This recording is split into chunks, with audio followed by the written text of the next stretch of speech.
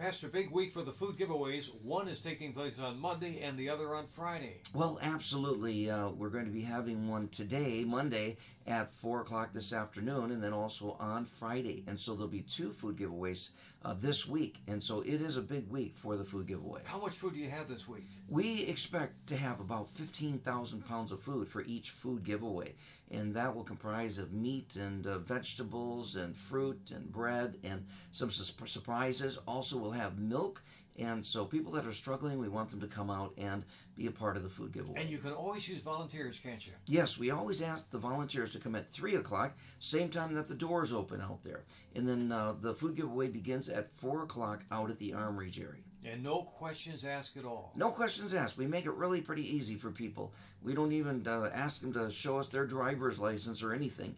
And we ask too that if they have a neighbor uh, or a friend that's in need, uh, feel free to come out, get a box, and go through the line for them. Thank you, Pastor. Thanks, Jerry.